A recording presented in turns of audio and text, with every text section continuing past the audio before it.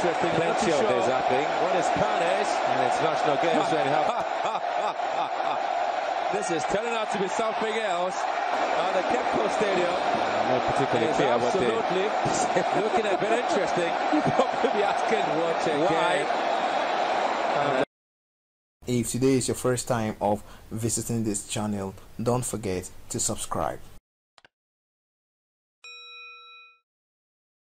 His name is Awal Suleiman, the man who defied all odds and invaded the pitch during the AFCON qualification between Ghana and South Africa on November 14th at the Cape Coast Stadium in the central region of Ghana. Pitch invasion happens all over the world, but it appeared for Awal Suleiman, he goes down the history books as the first Ghanaian to invade a pitch in Ghana. Awal Suleiman, a 25-year-old nursing student at the Nairobi Good College of Nursing in the northern region of Ghana, was also a former student at Spam Senior High School.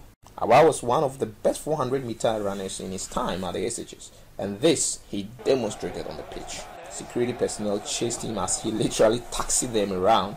Some tumbled over, while others panted for breath. Awal was released on bail on 16th November.